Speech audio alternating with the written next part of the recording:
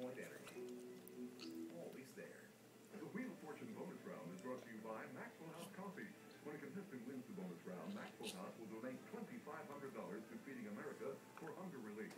Maxwell House custom roasts each bean to give you a flavorful cup of coffee, so you can be good to the last drop. You got a lot of stuff. We got the with you. My mom, Mary Ann, my daughter, Raina, my sister, Brianne, and my husband, Luis. Group of humans up there, and now we're going to ask you to spin that wheel